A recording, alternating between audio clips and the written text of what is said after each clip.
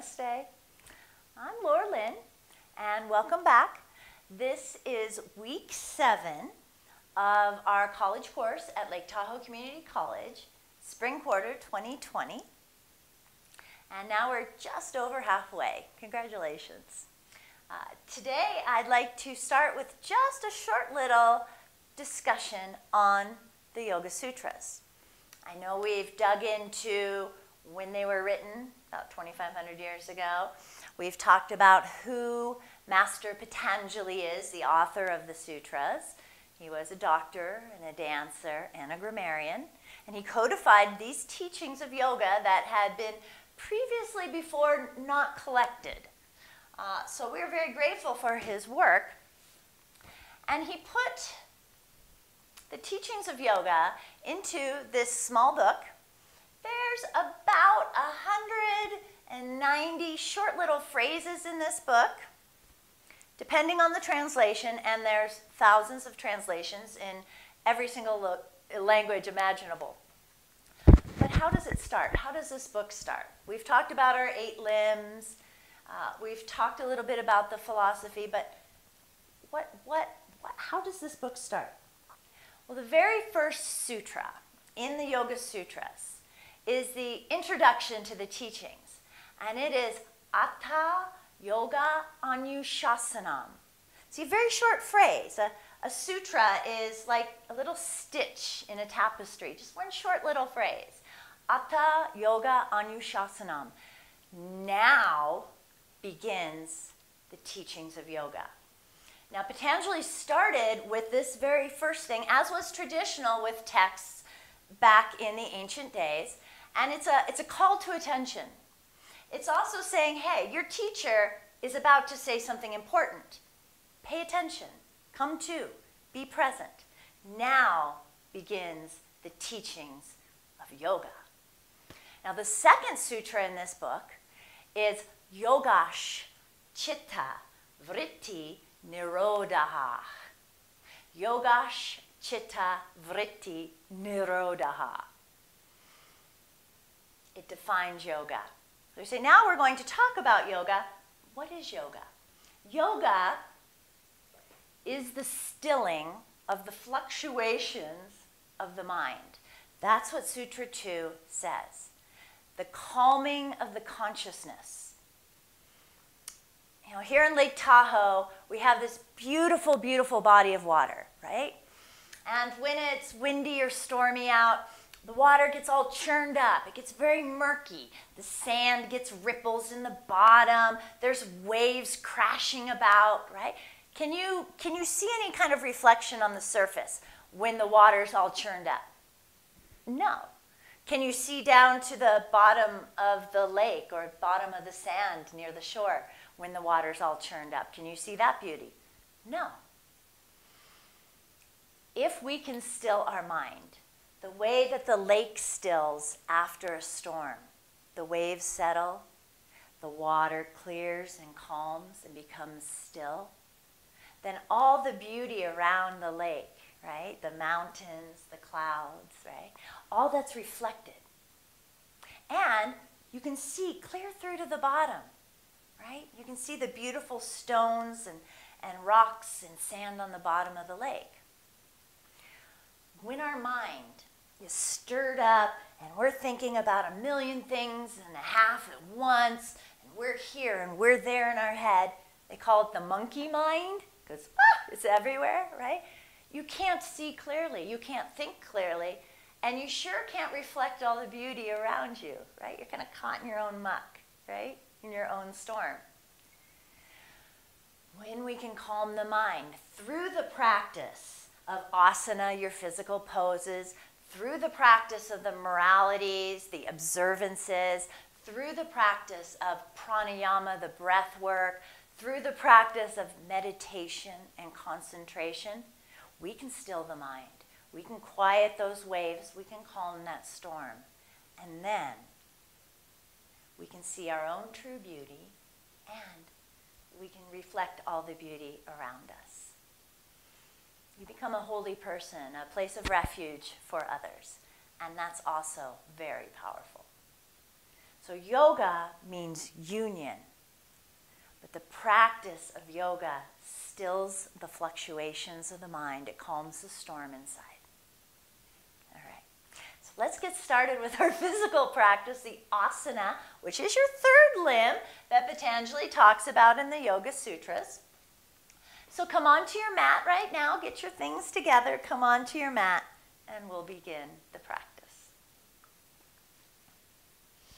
So, taking a little cushion underneath your seat, uh, a blanket, bring your right shin in first and take your left to the outside for Svastikasan, auspicious pose. Catch hold of your knees, straighten your arms, turn the eyes of your elbows up. Turn the inner arms to the outer arms. Bring the triceps up and the biceps down. Now squeeze your shoulder blades together, down low, the lowest part of your shoulder blades. Broaden the upper part of your shoulder blades. Let the tops of the shoulders release away from the ears. Let the sides of the neck feel long.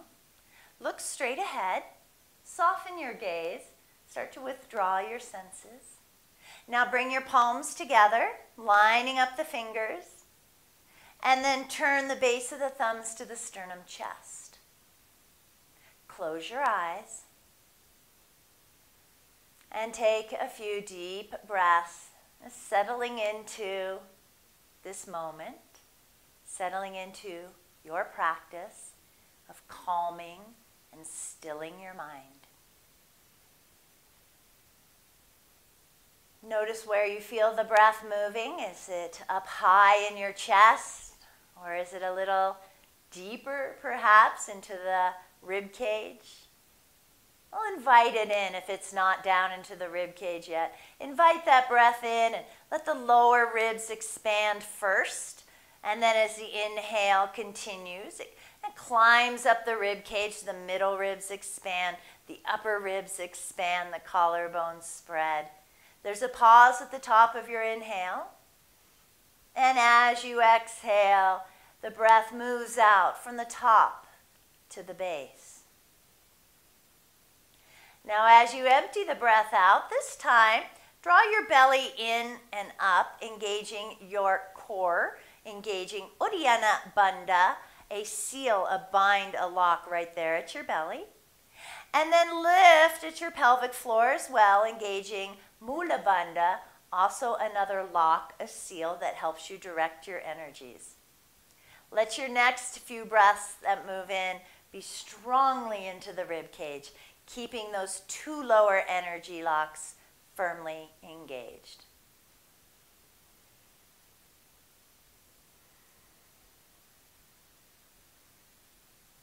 And now we will chant three ohms.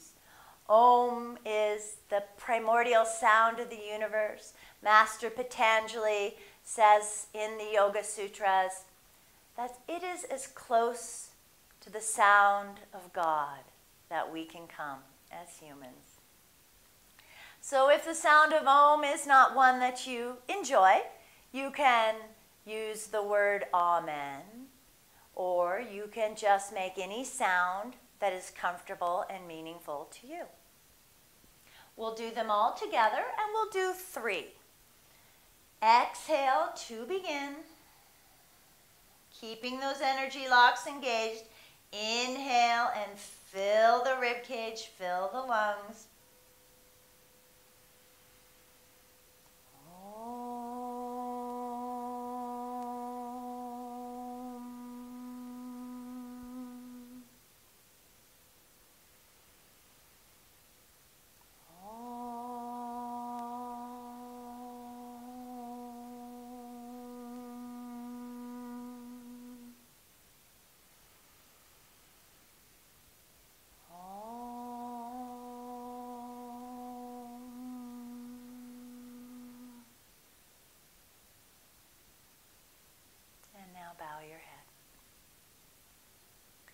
As you surrender the intelligence of your head to the intelligence of your heart. And we honor those who've gone before us, Sage Patanjali, Sri B.K.S. Iyengar, and all our gurus. We bow to our greatest teacher, the divinity and the purity that resides within. Now, placing a, a gentle little smile on your face, take a full breath in and a full breath out as the hands float down to the thighs with the palms facing up and the fingers relaxed. As you inhale, smoothly bring your chin up to center. And then as you exhale, sweetly and softly allow your eyes to open. Now keep your gaze relaxed and soft and contemplative and come to standing on your mat.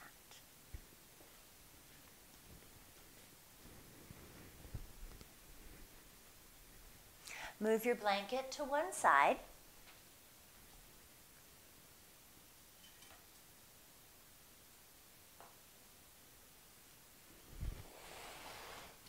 And then come up to the short side of your mat for circling the winds vinyasa.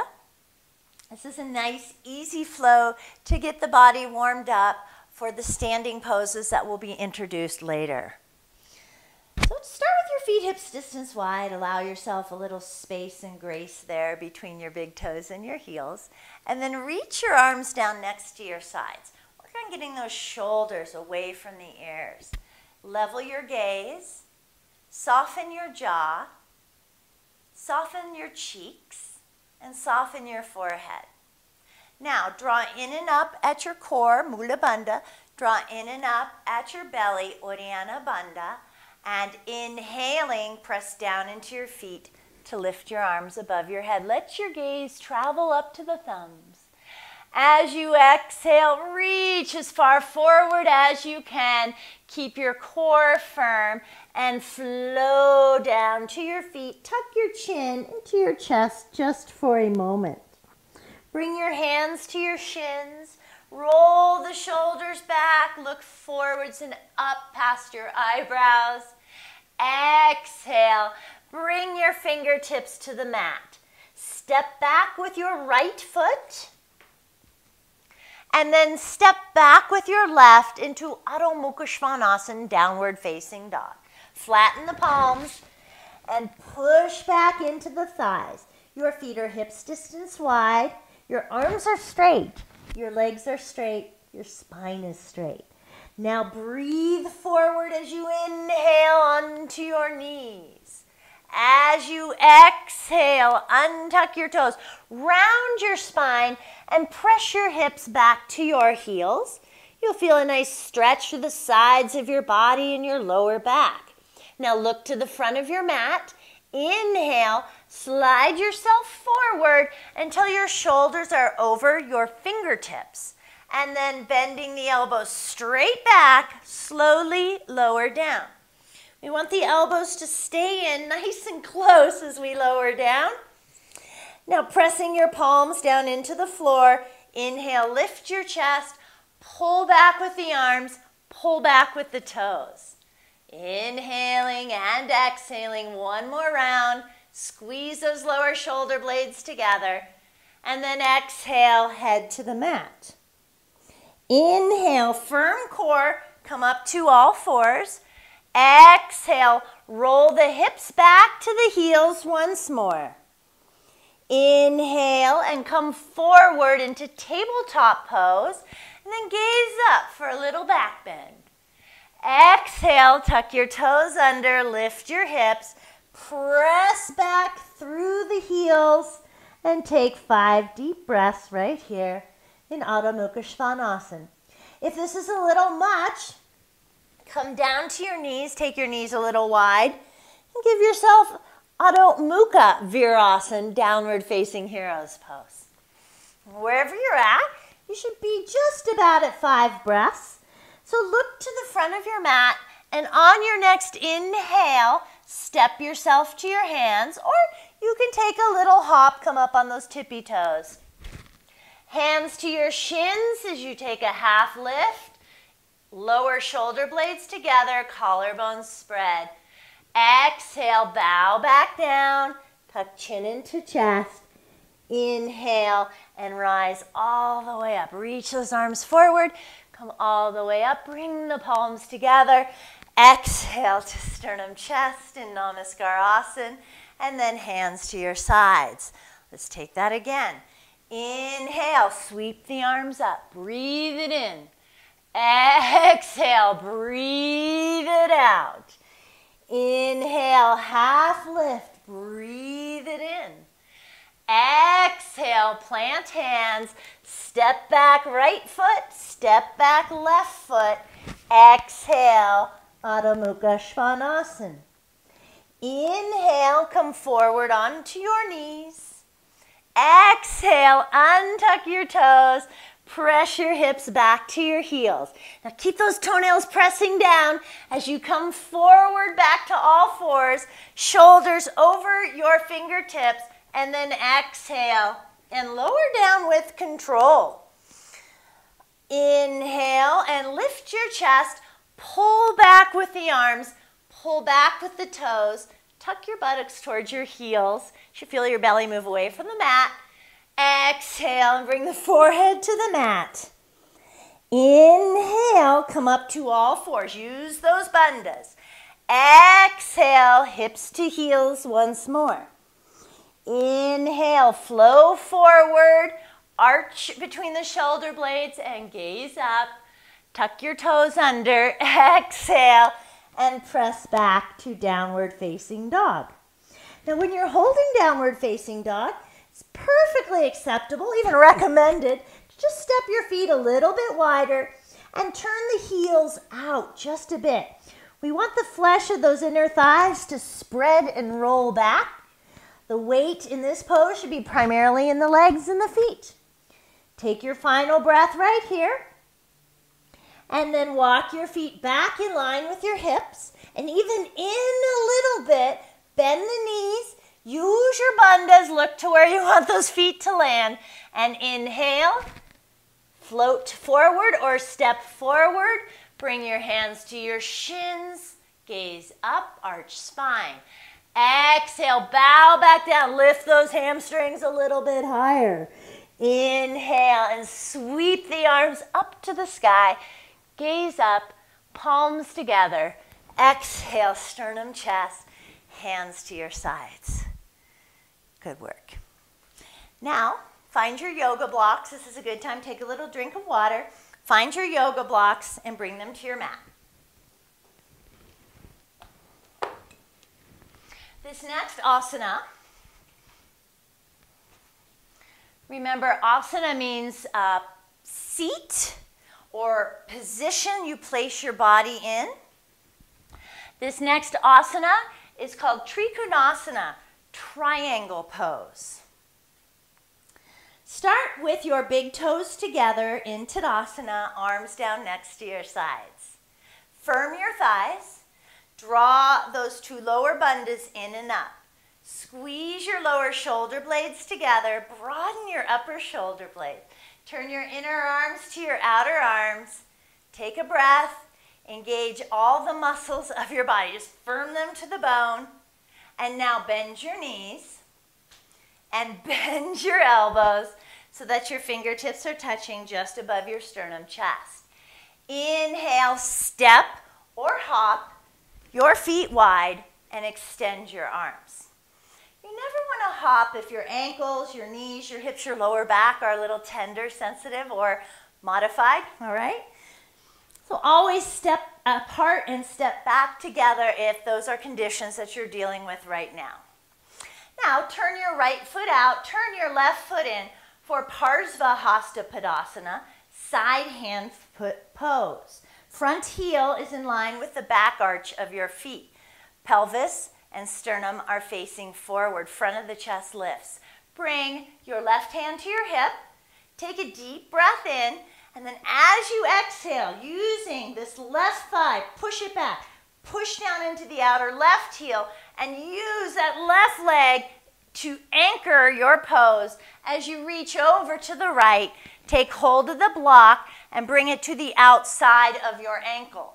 Now, this right shoulder, rather than letting it drop in like this, Roll the inner arm to the outer arm, the, bice, the tricep to the bicep, and plug that shoulder into its socket. Now your top hand is on your hip. Bend that elbow back to help rotate the rib cage forward again. The sides of the torso are long. The back foot is pressing firmly down into the mat, especially that outer heel. The front knee is lifting up into your hip. Now reach your left arm up, stretch the arms away from each other, reach to the crown of your head, and then turn to look up. This pose strengthens the sides of your neck. You may feel a little tension right there. If you do, turn to look down. Now prepare to come out of your pose. Use that top arm to rise up. Inhale, pull yourself up. Now keep your left leg firm. Keep pressing down into that back heel. Bend your front knee, and here you are in Virabhadrasana 2, Warrior 2 pose. That front shin straight up and down. Keep the knee tracking over the little toe. Your shoulders right over your hips. Reach the arms away from each other. Now, reach to the crown of your head, turn your head, and look at your longest finger on your right hand. Channel a little warrior, warrior energy and use your bandhas to maintain this position. Position comfortably held, right? Good. Inhale, straighten your front leg and turn the feet to face forward once more. Bring your hands to your hips for a moment. Good. Moving to side B. You can take the block that is on the right side and just move it back a bit. And then take a look at your feet and make sure that they're in line with each other. So if your foundation is off from the beginning, it's going to be very hard to move into the pose with any kind of integrity and balance, right? So take a look at your feet. The inner arches are in line with each other, the toes are in line with each other. The front of the body is lifting, those quadriceps are lifting. Now reach your arms back out, firm the muscles to the bone. Turn your left foot out 90 degrees. Angle your back foot in about 30 for Parsvahasta Padasana. Bring your back hand to your hip as we move into Trikonasana triangle pose. Feel the breath move up the front of the body, firming the right leg, pressing into the outer right heel, anchoring from that outer right heel. Stretch the left fingers as far away from that right heel as you can. And then hand to the brick, Take the brick to the outside of your front ankle. The left shoulder rolls back. The inner arm rolls to the outer arm. Keep the integrity in that shoulder socket. Now lift your top arm.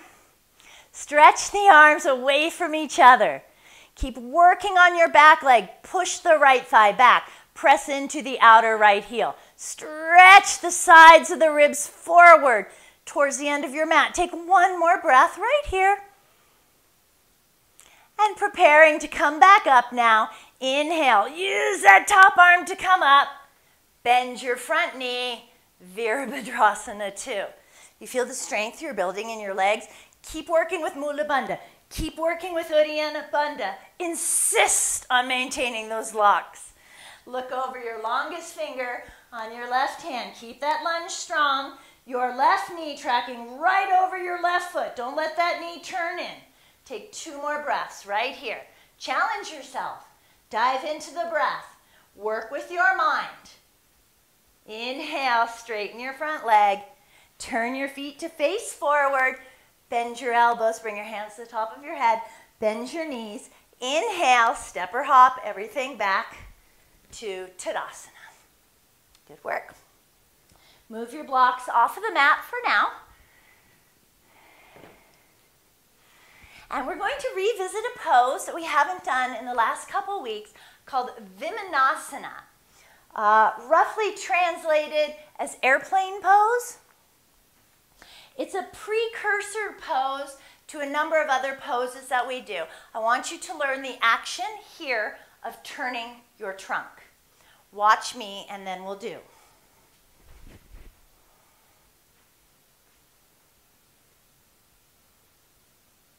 Okay? So coming to Tadasana, bring those big toes together. Bend your knees and bend your elbows. Using your bandhas, if you're going to hop, you'll hop a lot higher. Use your bandhas. if you step, you'll step a lot smoother. Inhale and step or hop your feet wide. Take a peek down at your feet, make sure they're in line with each other. Good. Now, turning the trunk, we're going to turn to the right. So turning your right foot to face the short side of the mat, turn your left foot, rotate the trunk until your sternum bone is facing the short side of your mat. Press firmly into your back heel. Lift both knees. Now turn your palms to face up. Lift your arms above your head. Beautiful. Firm legs. Tighten the knees. Use your bandhas. Take one more breath.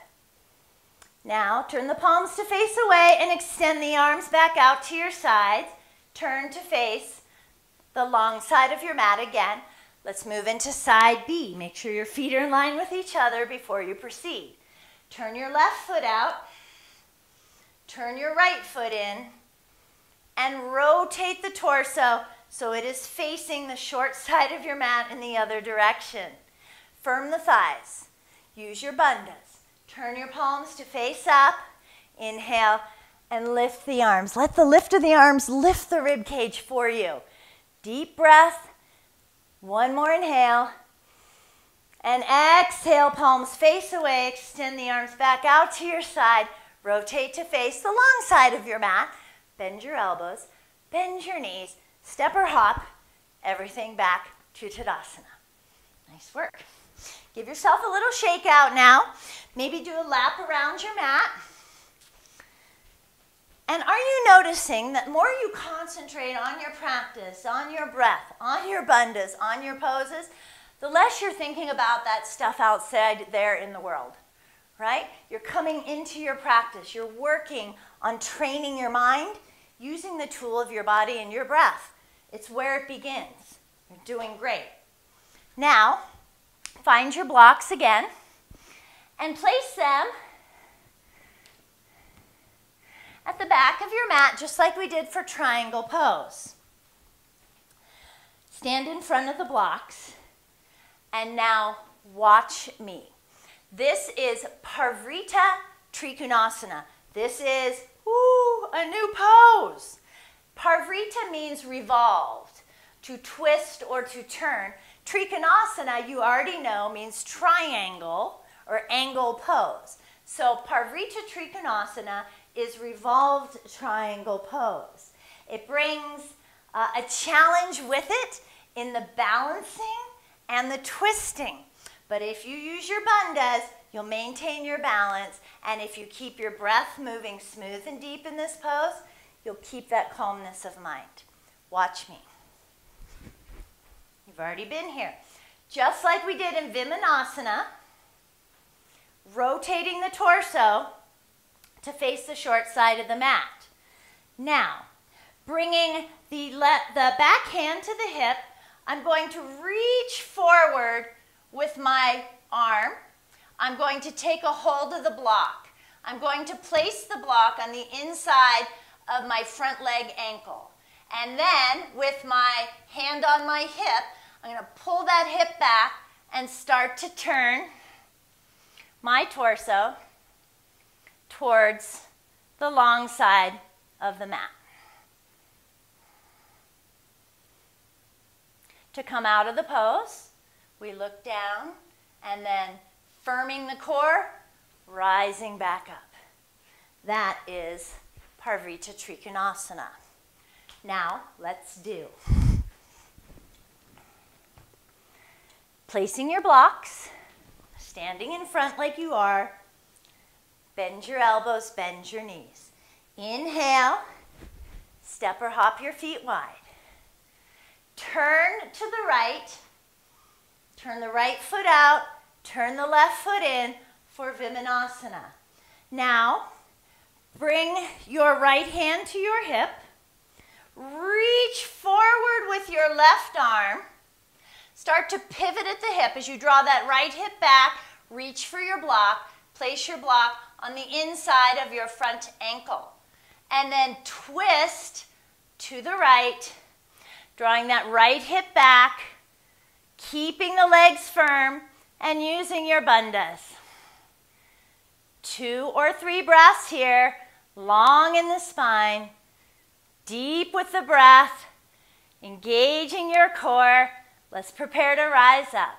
Inhale and rise up. Good work. Move your block back behind you and let's go to side B. Again, extending the arms and taking the intermediary pose, Vimanasana. Turn your left foot out 90 degrees. Turn your right foot around about 60. Hips are facing the short side of your mat once more. Bring your left hand to your hip. Reach your right arm forward. Reach as far forward as you can as you're drawing that left hip back. Then find your brick and place it on the inside of your ankle. Turning the torso, finding the Parivrtta in this Trikonasana right here. Twist. Bend your left elbow back a little bit more. Reach to the crown of your head. Use your bandhas. Two more breaths. Feel all four points of your feet pressing down. And then let's rise up. Inhale and rise back up. Move your block out of the way. Bend your elbows, bend your knees. Super hop your feet back together. It's a challenging pose. We'll be doing that more over the next few weeks. Give your body a little bit of a shake out. And again, if you'd like to take a little drink of water, do that right now. Coming to our next pose. There's a lot to get done this week. Ardha Chandrasana half moon pose. Now we worked on this a couple times last week. This is essentially a one-legged balancing triangle pose. So I'm just going to remind you of what it looks like.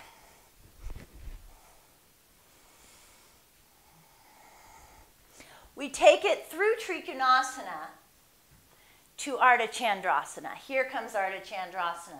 The front knee bends, the back heel lifts. You're just watching, right? You're not doing, you're just watching. Shuffle step in, carry your block with you, place it to the outside and in front of your little toe. And then lift your back leg and straighten your back leg first, then straighten your bottom leg and start to turn the torso, reach the top arm up. Stretch the limbs away from each other. Can you see the triangle pose in Ardha Chandrasana. Here we go. I'm going to come back and then rise back up. You ready to do? Let's do. Coming to your mat in Tadasana. You know, a mountain pose is like home base. When you were a kid, you'd be playing tag in the evenings, right? You'd be like, home base, I'm safe, right? You know? Tadasana is kind of your home base in your asana practice, uh, at least for the standing portion of it. So coming back to home base, to Tadasana, bend your elbows, bend your knees, use your bandhas, inhale, step or hop, legs wide, arms wide. Now, turning your right foot out 90 degrees, turn your left foot in about 30. Keep the pelvis facing forward, torso facing forward. We're visiting triangle pose first. Exhale and reach the right arm over. Take the brick to the outside of the ankle. Bend your left elbow back a bit more to turn the rib cage. Now let's play Ardha Chandrasana. Bend your front knee. Lift your back heel. Shuffle step in. Carry the brick with you. Lift the back leg. Feel your back leg straight and firm. Then straighten your right leg. Start to turn the pelvis, turn the torso to face forward once more. And then you can lift that top arm. Breathing here and smiling. Take your top hand to your hip, bend your supporting leg, and step back. Don't give up until you have triangle. Inhale and rise back up. Move that block out of the way. Turn the feet to face forward. Take your hands to your hips and just take a few smooth, deep recovery breaths. Hopefully, you're getting a little more focused in your mind. The more you're challenged physically, the less you're able to think about distracting things. You got to be here present in your body. Take a full breath in right now. Take a full breath out. Soften your gaze and relax your jaw. And let's have some more fun. Turn your left foot out 90 degrees. Angle your right foot in about 30. And again, the hips face forward, torso faces forward. Reach your left arm out. Isn't this fun? Reach your left arm out. Take a huge breath up the front of the body. Use your bandhas. Exhale over and take your hand to the brick, the brick to the outside of the ankle. Turning the torso, using the bend of that right elbow to accomplish it. Now, Ardha Chandrasana, your one-legged balancing triangle pose. Bend your front knee, lift your back heel. Shuffle step in, carry the block with you, and then lift the back leg. Straightening the back leg first, and then the left leg. Turn the pelvis to face forward. Turn the sternum bone to face forward. Keep breathing deep. Keep your breath moving. Smile. Take one more inhale. And then top hand back to the hip. Bend the supporting leg and step back to triangle pose. Reach the top arm up and let that help you come back up. Now notice how your feet landed, uh, just for your own educational purposes. See how you did placing that back foot down. The more you practice, the better it will become. Turn the feet to face forward. Bring your hands to your hips. Heel toe your feet in so that they are just a little bit wider than hips distance. And now reach your arms above your head. Just sweep them wide, nice and big and wide. Bend your elbows and catch hold of your elbows. This is Baddha Hasta in Tadasana, moving into Baddha Hasta in Uttanasana, which is your forward extension pose. Firm your feet down onto the mat. Lift your inner ankles, lift your inner knees. Use Mula Bandha, use Uddiyana Bandha, lift your sternum bone, gaze up just for a breath, and then exhale. Take all that beautiful length forwards and down. And you're here for about five or six breaths. So let the shoulders release, let the arms relax as much as they can. Keep lifting the hamstrings and pressing your feet down into the mat. Relax your neck and notice if there's any tension in your jaw or in your cheeks. And here, nobody's looking, so you can give your face a good stretch. Open your mouth wide, stretch your eyes, stretch your cheeks, and then relax your face. Two more breaths. Let, make them count. and now let the arms just dangle down to the mat. Take your hands to your hips, and please take a little bend in your knees to come back up to standing. Good work. Good news. We're doing a new seated pose next. Taking your, you're going to need your blanket, and you're going to need uh, both of your blocks. And if you have a bolster in your life, you can have you can use a bolster as well. Uh, I'm going to demonstrate it with the blocks and with the blanket. This is Virasana Hero's Pose. To set up for this, and I'm going to take a side view for you, take your blanket and place your blanket on your mat.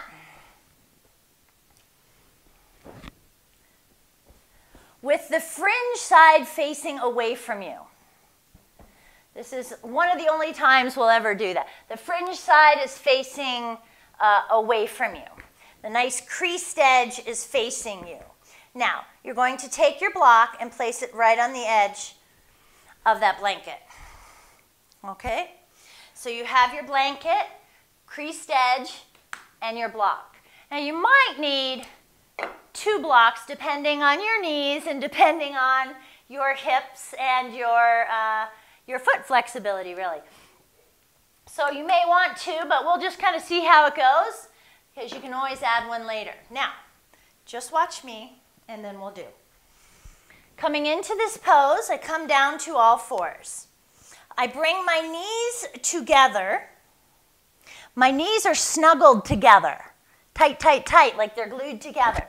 My feet are hanging off the edge of the blanket, a little bit of space and comfort for my ankles, and my inner ankles are hugging this block. The block is right there at my inner ankles.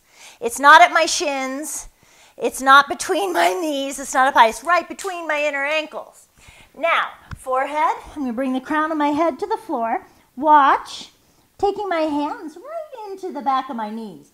I'm gonna pull the flesh of my calf muscles back. I'm gonna start rolling them out to the side so I reach my hips back and come to sit on the block. Now, my hands are pleasantly wedged between my calf muscles and my hamstrings. I'm gonna pull my hands out to the left and the right to keep those calf muscles rolling out. Now, hands to the thighs and the chest lifts. This is Virasana Hero's Pose. Very noble, opens the chest. Now let's do. Come down to your mat. I'll do it right along with you here. Set your block, set your blanket. Make sure you've got it how you want it. And then come to all fours and bring your knees together. Keep your knees on the blanket. If you need to walk the block back, walk the block back. But keep your knees on the blanket. Don't let your knees hang over the blanket. Snuggle the knees together. And then take the brick to right between your inner ankles. Right between your inner ankles. Squeeze that block with the inner ankles and push down into the tops of your feet. Now bring the crown of your head to the mat. It's nice to hold a little bit of weight there at the crown of your head. Lift the hips high. Catch hold of the backs of your knees. And then stretch that calf muscle back. Roll it out to the sides. You slowly come up to sit up onto that brick. Slide your hands out. Now here's where you'll notice, oh, my knees don't kind of close up quite that much at this stage in the game. Take your other block, lift your hips, and bring it on top. And then I bet you it becomes a lot more comfortable for you. Especially if you have uh, sensitive knees or modified knees, take more height underneath your hips. Lift the chest, straighten your arms, look straight ahead, and wherever you're at, call it beautiful. And take a few more breaths. Soft eyes, deep breath. Press down into both shins and the tops of both feet. Lift your sternum chest. Squeeze your bottom shoulder blades together. Broaden your upper shoulder blades. Upper shoulder blades should match the width of your collarbones. Lower shoulder blades digging in and driving up. Take one more breath. And then release your pose. Lift your hips up off of the blocks. Move the blocks to one side and then just walk yourself back off the blanket. So just come back to all fours. And then take your knees wide, slide your big toes together, roll up your blanket into a happy little sausage shape here, and then bringing the hips back to the heels for Adho Mukha Virasana, downward facing hero's pose. Slide the blanket to underneath the forehead, Reach your arms over the blanket and press your palms down. I'm to open up the arms, give you a nice stretch to the sides of your waist, through the sides of your ribs, and through the armpits, upper arms. Fill the body with breath. If this is a little challenging on the knees, remember from our earlier classes, you can always just tuck a blanket back in behind there. And if that's the case, set yourself up something like this. Use both blocks underneath your forehead, and then you can bring the arms and let them rest on that block instead. You know, there's always a way to do your asana. There's always a way for you to do your yoga. Always, always. Breathing deep. Let your face relax. Find some softness. In the back of your neck, find some softness. In your forehead, find some softness in your heart. Slowly walk yourself up now. If you have a blanket behind your shins, move it out of the way. Move your blocks out of the way. Move your blanket out of the way. Come to all fours for Adho Mukha Svanasana, downward facing dog. Hand position, when the hands are holding weight, should be slightly out to the left and the right. The hands just turn out just a little bit, and then the weight comes underneath the index finger and underneath the thumb. It's very important. Uh, if you love your wrists, you know, and you want to take care of those little bones in the outer edges of your hands, take that weight to the inner edges of your hands as practicing ahimsa, your first yama, being nonviolent to your hands. Now turn the eyes of the elbows to face each other and then rotate them to face the front of your mat. Squeeze the lower shoulder blades together. Broaden your upper shoulder blades. Draw your belly in using Mula Bandha, Uddiyana Bandha. These arms should feel very strong. Now tuck your toes under. And without disturbing what you have built with these arms, lift your hips, straighten your legs best you can, and reach those heels back and down. Now take a peek at your elbows. Turn the elbows to face, the eyes of the elbows to face each other. Just a bit more now. Push away with the arms. Press back into the thighs. Lift your knees. And breathe here, working to get those heels down to the mat. Try lifting your toes. Uh, that might wake up the back of your calves a bit more. And then bring the toes back down. Head is relaxed. Breath is deep. Kneecaps are lifting. Weight is shifting back. You're almost there. Take one more breath. And come back to child's pose now. Knees wide, big toes together. Adho Mukha Virasana. Roll the hips back. This time, reach your arms back next to your sides. Let the shoulders relax. Let the shoulder blades spread and round. You can take the blanket to underneath your forehead or use your blocks.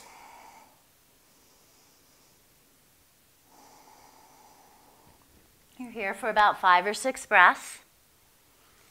In the sutras, Master Patanjali says, uh, Sthira Sukham Asanam. It's a short little phrase, right? Sthira Sukham Asanam.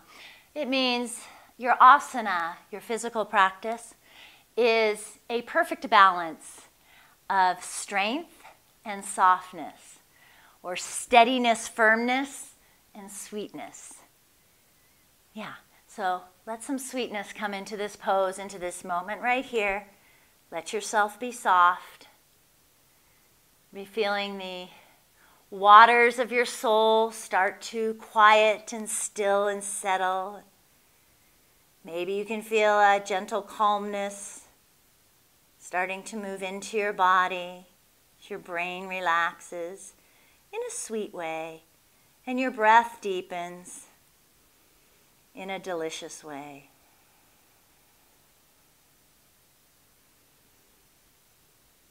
Now, pressing your hands down into the mat, or bring your arms back next to your sides, next to your shoulders, and slowly walk yourself up. Bring your knees in. If you used a prop underneath your head, move it out of the way. And find your blocks. We have one more standing pose. It is upward facing dog. So you just did downward facing dog. Well, now we're going to do upward facing dog. Take your blocks and place them on your mat. Like where you normally place your hands on the mat, you know, just about shoulder distance wide. Then take the end of your mat, the side of your mat. See, I have kind of an extra part here, and you're going to flip it over, okay? And then that kind of locks those bricks in there, those blocks in there, so they won't slide on you, all right? So we're, watch then, now, Watch me. We call this, uh, uh, well, we usually call this come see asana, but obviously you can't come see. We're not in a studio, so uh, use your eyes asana. Hmm? Okay? I'm going to start in a, a downward facing dog, and I'm going to move into upward facing dog, or Urdhva. Watch me, and then we'll do. So So I place my hands on the mat, they're slightly turned out, the fingers are spread, the weight is on the inner edges. Tucking my toes under, using my bandhas, lifting my hips, and I'm pressing back into my thighs. So here we are in upward facing dog, downward facing dog rather. Feet are hips distance wide. Now I'm going to come forward. And this, uh, this happens a lot in vinyasa classes, so it's very good to learn now. You're going to come forward into a plank position. For this first one, we're going to keep our toes tucked under. Look at my toes. And I'm going to roll my shoulders back, lift my sternum, chest, and gaze up. Feel that space underneath my thighs? So I exhale, pull back, and come back into downward facing dog, and then back down to my knees.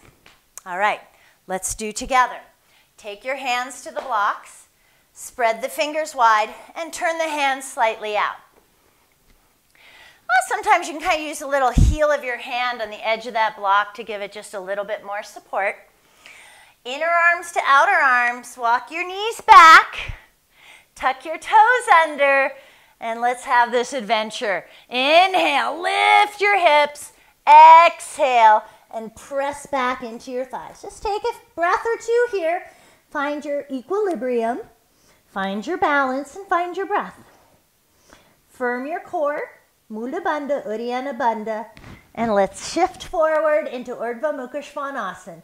Inhale, come forward, shoulders over fingertips.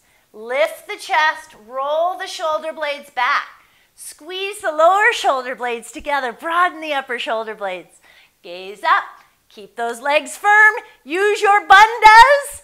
Exhale back, Adho Mukha Svanasana, downward facing dog, and then back to your knees. Keep your hands right where they're at. Take child's pose, Adho Mukha Virasana. Let the head rest on the mat. A few breaths right here.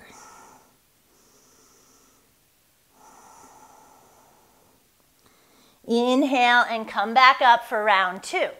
The difference with round two, when we go into upward facing dog, watch my feet now. So we're going to come onto the tops of the feet rather than keeping the toes tucked under. If that's a little much, keep your toes tucked under, all right? We have plenty of time to advance the pose. But watch here, this is toes untucked. Coming forward, rolling over the toes, lifting the chest. Squeezing my inner ankles together. We don't want the feet to fall open.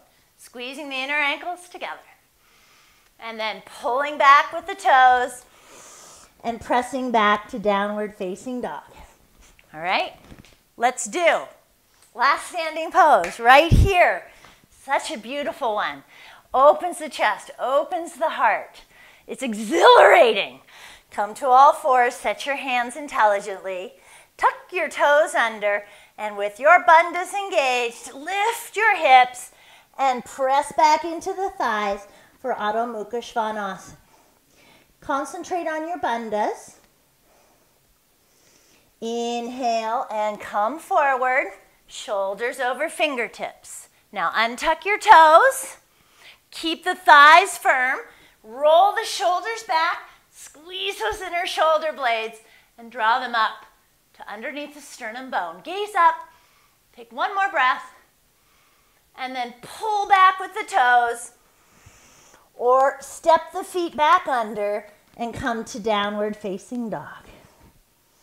Come to your knees and take child's pose, Adho Mukha Virasana, any way you would like. If you want to give those arms a break, bring the hands down next to your sides. Take a few breaths into your back ribs, into your hips. Keep a pleasant but relaxed expression on your face, training your face. If your hands are back near your ankles, bring them forward to underneath your shoulders, and then just roll yourself slowly back up. Whew, so much fun. Flip your mat back, move the blocks to one side, and find your blanket. Place your blanket on your mat underneath your hips and straighten your legs. When you sit on your blanket for Paschimottanasana here, Western stretch, you want to sit on the creased edge of the blanket, just a, a little uh, yoga prop refinement here. You want to sit on the creased edge of the blanket and have the fringe facing away so you have a nice, even, supportive surface for your hips. Find your strap. And we're ready to go for Western stretch. Why do we call it Western stretch? Paschi means Western. Why do we call it Paschimottanasana, or Western stretch? The back side of our body is the Western side. The front side of our body is considered the Eastern side. When yoga was developed in the East, uh, practitioners, yogis, yogins, non gender specific yogins, would do their sun salutations, their Surya Namaskaras, facing the sun in the morning, and that would, the sun would shine on the east part of their body. So we're going to stretch the west part of our body here as our practice draws to a close. Bring your hands next to your hips, fingertips face forward, lift the chest. Working with those shoulder blades a lot today. Bring those inner shoulder blades together. Broaden the upper shoulder blades, or the lower shoulder blades together. Broaden the upper shoulder blades. Roll the butt, triceps to the biceps. Loop the muscles around the arms. Lift your chest. Firm thighs. Press down with the upper thighs. Press down with the knees. Press down with your shins. Inhale and lift your arms above your head. Use your core, use your bandhas and the firmness of those thighs to hold your torso upright. Exhale, pivot right at the hips and catch hold of the shins or catch hold of the feet. If you can't get to your feet, then I recommend using your strap. So take your strap. I will demonstrate with the strap. Now inhale, concave spine, look up, roll the inner arms to the outer arms, plug those lower shoulder blades in, gaze up, keep the legs firm. Full pose, bend the elbows out to the side. Draw the torso forward, the crown of the head forwards, and then gently come down. Keep the elbows lifted and drawing back. If you're binding onto your feet, maybe you can catch hold of your left wrist and keep the elbows bending. This is another uh, bind that you can do. Use those two lower bandhas and just slightly relax your glutes so you can come forward a bit more. Two more breaths. Slow, deep breaths. Inhale, Urdhva Mukha, look up. Exhale, release your pose back to Dandasana. Good work.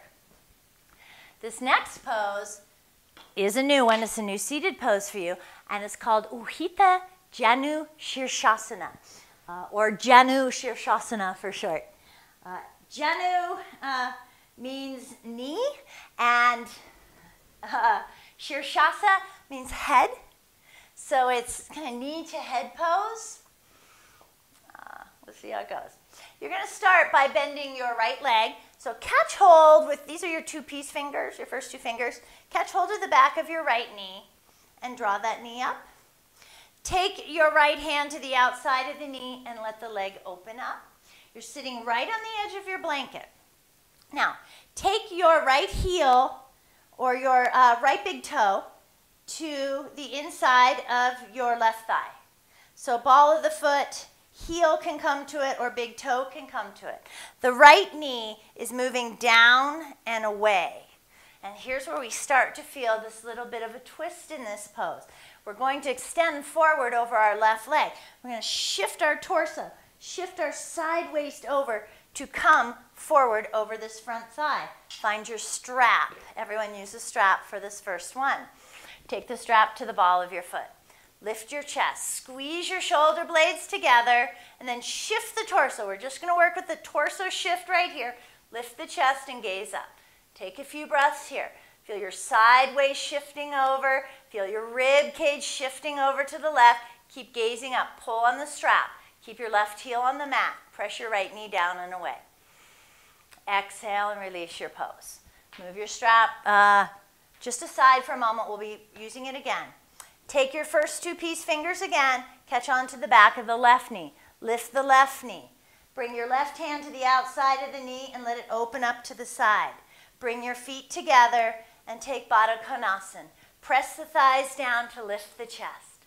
Reach the sternum chest up, spread your collarbones. Two more breaths right here.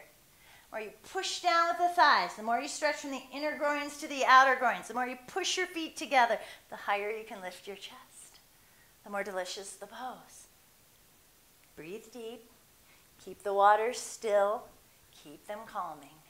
One more breath. Exhale and release your pose. Catch hold of the outside of the knees and help the knees come back together. Straighten your right leg. Let this left knee come open once more. It's nice to give it that knee a little bit of support with your left hand. And then slide the big toe into the inner uh, right thigh or the heel or both, whatever you can get in there. The left knee presses down and away. So that left knee presses down and away, kind of feel the shifts start already. Take hold of your strap, place it on the ball of your right foot. Straight arm, straight spine, straight right leg. Push the upper thigh down, push the shin down. Inhale, squeeze those lower shoulder blades together and lift them up. Gaze up, Urdhva Mukha. It's an intermediary pose, and most poses we look up, we rise up to ground down, says Mr. Iyengar. Now shift your torso over to the right. Shift your side sideways. Learn that action. Shift the ribs. Shift the side sideways. Press the left knee down and away. Take one more breath. Feel your body. Keep both sit bones equally weighted. Don't let that left hip get light. And exhale, release your pose. Set your strap to one side. First two fingers catch hold of the back of that right knee. Let the right knee open up to the side and then slide your feet together. If the heels don't come in very close to the, uh, to the uh, pelvis, no big deal. Bring them further away. Uh, we don't want to suffer in our practice. You want to stretch, you want to feel sensations, you want to be strengthening and making progress physically, mentally, spiritually, and intellectually. Uh, but, uh, but you don't want to be suffering, right? Or, or, one, you won't come back and keep doing this, and we need you to do this. Your yoga is going to save this world, so we need you to have fun and be enjoying this. Final breath here. Press the thighs down, lift the chest. Good. Help the knees come back together and straighten the left leg. Let the right knee open up once more, getting the hang of that action. Slide your right foot into the inner left thigh. Find your strap again. And this time, we're going to do Janu Shirshasana again, and we're going to come forward over the thigh. Catch hold or lasso your foot, the ball of the foot, not the arch of the foot. We don't want to pull on the arch of the foot.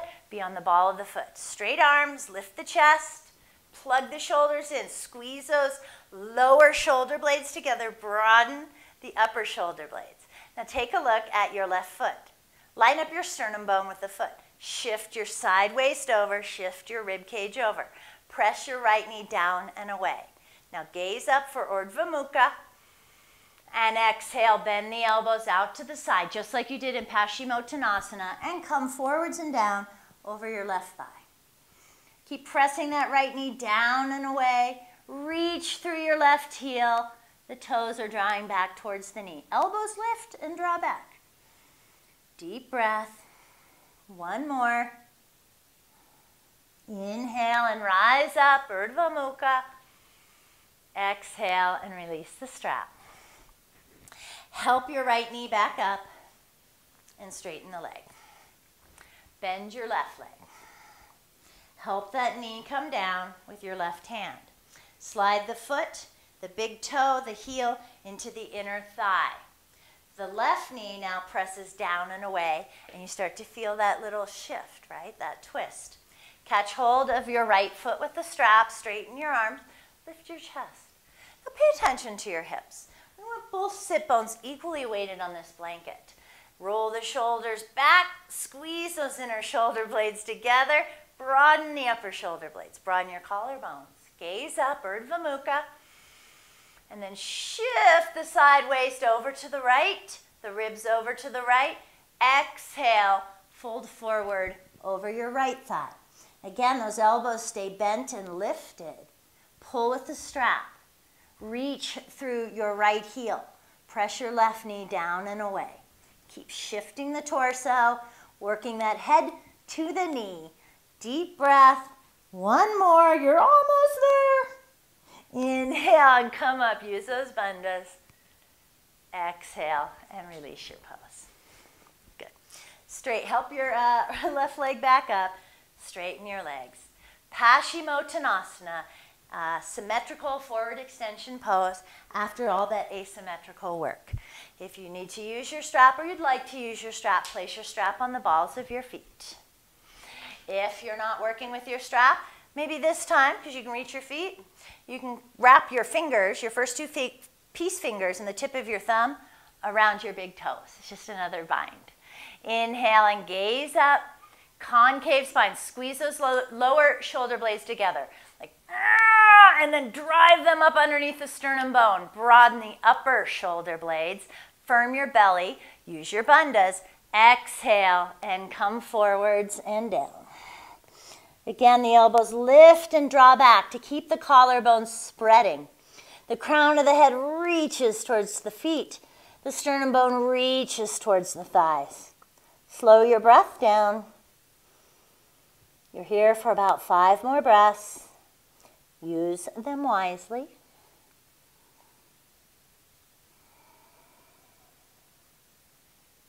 Inhale and rise up, Urdhva Mukha. Exhale, back to Dandasana. And release your pose. Inversions are very important for our body. If you think about it on a day-to-day basis, you stand, you walk around, you sit down, and then you lie down. When do you ever turn upside down unless it's to like tie your shoes, right? When we turn our bodies upside down, it's extremely beneficial uh, on so many different levels. It releases the effect of gravity on your internal organs for a little bit and moves everything back up to where it should be. It's a nice release on your heart. It clears the fluids out of your legs, you know, if you tend to get puffy ankles. It's got to be turning upside down a little more. Oxygenate your brain. Many, many more benefits. So today's inversion is Setubandha Sarvangasana or bridge pose. It's the safest one for us to do uh, when you're relatively unsupervised like you are in this video, okay? Uh, when we reconvene back in class, we can work on a full shoulder stand. We can work on uh, headstand preparation. But for now, for safety's sake, we love our bodies, we want to keep them in good shape. Let's stick with the inversion we do in Setubandha Sarvangasana, bridge pose. So you need one of your blocks come off your blanket and place your blanket at the back of your mat so it's handy for your Shavasana. And then turning so that your feet are facing the front of your mat on the short side. Catch hold of the backs of your thighs. We're going to lower down really slow. We're going to sneak just this little bit of ab work in, okay? So press your feet down, tuck your tailbone under, draw the belly in, use Mula Bandha, yeah, and roll yourself down onto your sacrum. Now I want you to just stay right here on your sacrum. Squeeze the shoulder blades together, keep the collarbones broad. Draw the belly in. Now lower down until just your side waist, which is the space between your pelvis and your lower ribs is on the mat. Now release your arms. Look up at the ceiling. Press your feet down, pull that belly in, take one more breath, and now roll yourself down the rest of the way. Feel those abs kind of wake up a little bit? Good. now find your block. Have your block handy. Uh, those of you who have practiced with me for a while know not to turn your heads. Those of you who are just tuning in or you need a gentle reminder, here it is. Don't turn your head. Once these hips are lifted and the block is under your sacrum, this neck becomes rather vulnerable. And we don't want to strain our neck. That's so not what we're here for. And be on the back of your head and looking straight up at the ceiling or the sky, wherever you're practicing. Okay? So, when the hips are on the floor, it's safe to turn the head. When the hips are lifted, resist the temptation to turn your head. Okay? Block is handy, so you don't have to turn your head to find it. Let's begin. Walk your heels in close to your hips and feeling, bringing your intelligence to your feet. Bring your mind to your feet. Feel those feet spread and make sure that your toes are facing forward. Now reach your arms down next to your sides and turn your palms to face up. So the triceps roll to the biceps.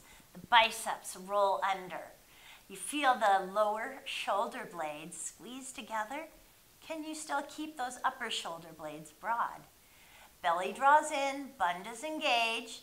Uh, in this pose, we actually engage our throat lock here at Jalandhar Bandha. So Mula Bandha, Uddiyana Bandha, and Jalandhar Bandha are engaged. Makes this pose extremely powerful. All right, here we go. Press down into your feet without turning your head. Lift your sacrum. Lift your side waist. Lift your hips. Roll onto the outer edges of your shoulders. Tuck those shoulders under. Now, reach for your block without turning your head. Take the block at either level one or level two. If you have a wood or a cork block, you can go up to level three. But if you're working on a foam block, stay at level one or level two. This is, uh, don't look. Uh, I'm on level two, but don't turn your head, right? turn, turn your palms to face up at your sides again and snuggle those shoulders under a bit more. Those lower shoulder blades firmly engaged. Belly's drawing in.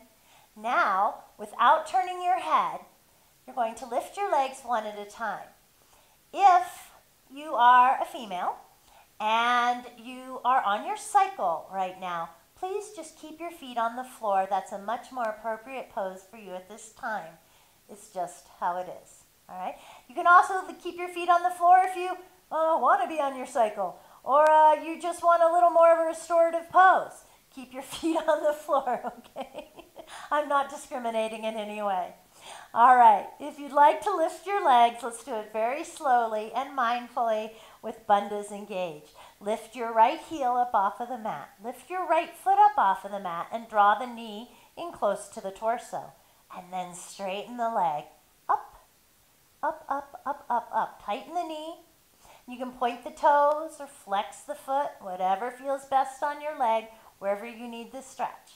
And then float your left heel up, your left toes up, bring the knee in close, and straighten that leg. And take a look up at your feet. Spread your toes. And sometimes it's fun to just imagine you're holding someone that you love up on the pedestal of your feet. It helps you stay here a little bit longer if you're doing it with a beautiful intention like that, you know. With love in your heart, lift your sternum bone and start to bring the sternum bone a little closer to your chin to engage Jalandhar Bandha. But keep the back of your head on the mat. So don't tuck your chin into your chest. Bring your chest to your chin, your sternum bone to your chin. Open up through the backs of the knees. Move your breath deep into your body. Keep your face soft and relaxed. We stay in inversions, obviously. This is an inversion, right? We stay in inversions just a little bit longer than the rest of the pose, poses that we do. Mula Bandha, Uddiyana Bandha, Jalandhar Bandha. Just a few more breaths. If at any time you need to come down, well, this is your yoga. Come on down. All right. Coming out of this pose now, bend your right leg and bring your right foot back down to the mat. And then bend your left leg and bring your left foot down to the mat. Stay here for a few breaths, even close your eyes. And just enjoy how your body feels. You press down into your feet and you send those knees forward. Little more of a stretch in the front of the hips and the psoas area. Gives it a little more extension. Now press down into your feet to lift your hips up off of the block. Squeeze your inner thighs towards each other. Don't let the knees splay out. Slide the block out of the way without turning your head. And then bring your hands to your upper glutes and stretch as you roll down vertebrae by vertebrae. And then once the hips are back on the mat, you can turn your head. All right. Bring your knees into your chest and give yourself a little hug. Rock side to side and make little circles around that area that the block was just a moment ago. Change the direction of the circle. Come to center with the knees. You're going to take a huge breath in, a full breath out, and then bring your forehead towards your knees, or as close as you can get it. Bring your knees towards your forehead. Just round your body. And then bring your head back to the mat and bring your feet back to the mat. Reach your arms wide to the sides. In a T shape, we're going to take a little twist. Cross your right leg over your left and snuggle those thighs together. Shift your hips a few inches to the right. And then just let gravity work on those thighs. Just let them roll over to the left. Lift your head, turn your head to the right, set it back down. Deep, smooth breath, winding down and moving towards your Shavasana. With your next breath in, draw the knees back up and the head back up. Uncross the legs, shift your hips back in line with your spine, and then cross your left leg over your right. Nice and tight, snuggle those inner thighs together. Shift your hips a few inches to the left, and then let your knees softly and sweetly roll down to the right. Lift your head, turn your head, and look towards your left hand. Press the left shoulder blade down. Relax the legs and the hips. Oh, feel how good this feels. And now to rise back up, inhale, firm core. Come all the way back up. Uncross your legs. Bring your feet in line, your feet, hips and feet back in line with your spine. And you have reached Shavasana. Straighten your legs. Take your blanket and tuck it underneath your head and your neck. If having your legs straight is kind of uncomfortable or a little tight in the lower back, I, I know how that feels. You can bend your knees, take your feet wide to the sides of the mat, like I am, and then just let the knees rest on each other. I'm going to tuck the buttocks towards the heels so that the lower back flattens and smooths out and then turn your palms to face up. Flatten the shoulder blades, even the lower shoulder blades, and let the collarbones spread and relax and match that width. If you have your strap handy, you can always use your strap as a little bit of a, like an eye pillow, just to kind of uh, blindfold, uh, just to kind of block out the light a little bit and allow your senses to withdraw. Let the little muscles around your eyes relax now. Let the outer corners of them broaden and the inner corners drift away from the bridge of the nose. The space between the eyebrows softens, widens, and the flesh underneath the eyebrows smooths out and relaxes. Can you bring your awareness to your temples? Let them draw inward, softening the way a wave returns back to the ocean. Just draw them in. Let the hinge of the jaw soften. And take that softness down into the sides of the neck and into the throat soften your throat and into your tongue. Relax your tongue. Let the tongue be soft and full and plump inside your mouth. Little bit of space between the teeth. You're signaling to your mind there's nothing to say, nothing to taste, there's nothing to see. Just relax. Softening your nostrils will help the breath move with a little more grace and ease. And relaxing the little muscles around the ears and the inner ears. will help calm and soothe your senses as well.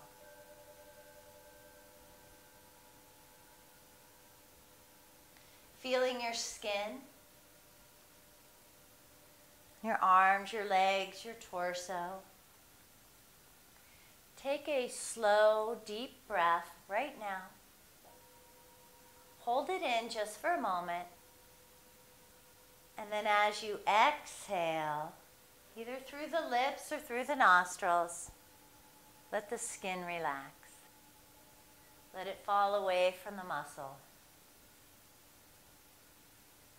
Penetrating even deeper, see if you can allow the muscle, your arms and your legs and your torso, to fall away from the bone. Go one layer deeper.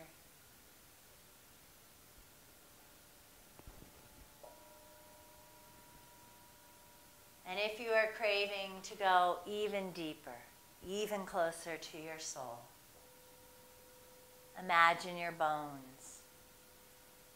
And imagine the very marrow in your bones softening, relaxing, and dissolving into pure light, into pure energy, into prana.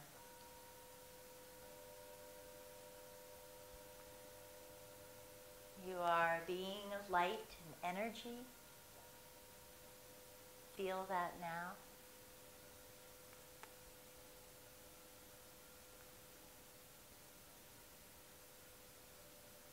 Maybe you feel like you're floating or drifting. Or maybe you feel snuggled in and heavy and grounded. Maybe you feel both at the same time.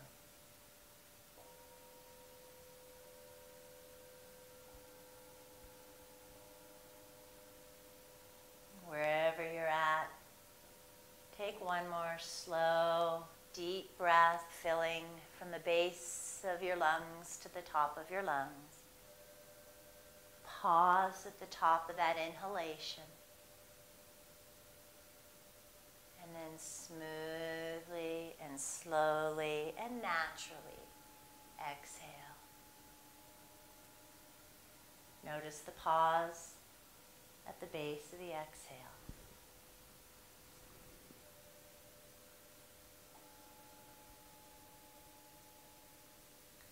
Do that one more time. Your breath Move it into your body. Swirl it down into the lower lungs and then the middle lungs and then the upper lungs. Oh, hold it in at the top just just for a heartbeat or two. And then a natural smooth exhale. Notice the pause. And then let your body breathe with its own intelligence for the next few minutes. Stay present.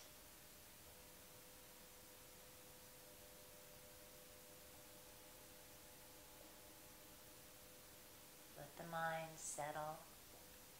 Let your inner lake calm.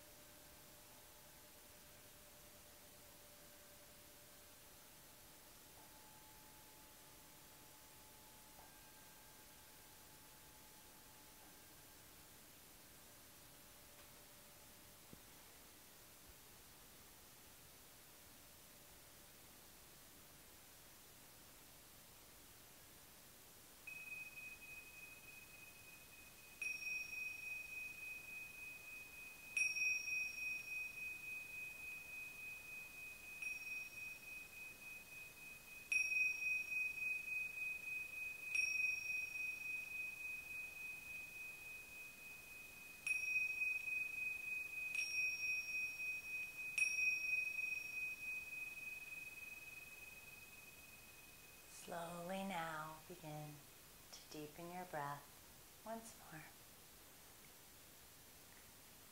As you allow your breath to draw you back to your body, feel the energy of your breath streaming out to your fingers and your toes. When you feel it get there, bring a little motion back to your fingers and your toes. Brush your thumbs across your fingertips. Wiggle your toes. Roll your wrists and your ankles around in little circles, one direction and then the other. Turn your head side to side. Then sweep the arms above the head. Take that big, giant, delicious stretch. Sigh it out. Ah. Now bend your knees one at a time. Shift your hips a few inches to the left and roll completely over onto your right side. And snuggle up with yourself here. Bend your knees, tuck them into your chest. Use your upper arm as a pillow. Close your eyes and breathe.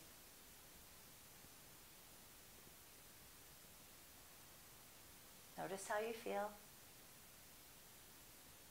Calmer. Does the turbulence in the mind seem a little less significant? You feel a little happier?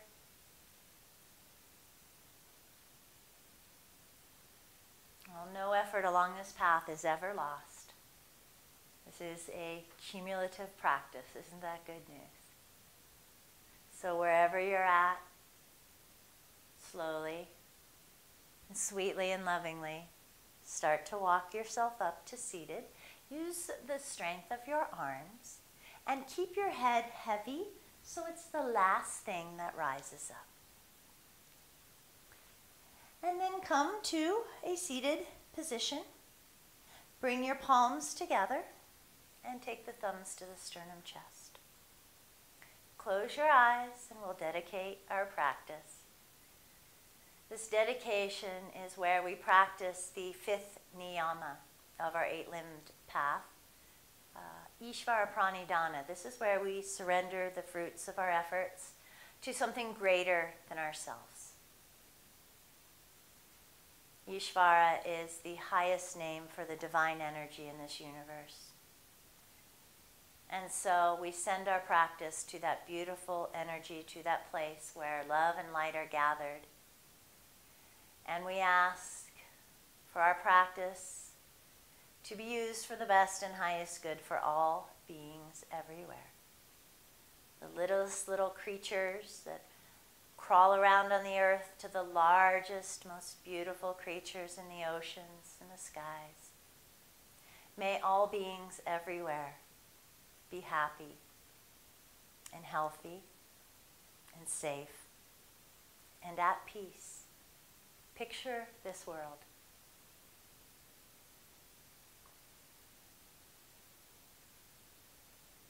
And together with me, let's offer one Om, that beautiful vibration. Let it fill your body and let it feel good. Exhale to begin. One Om. Inhale.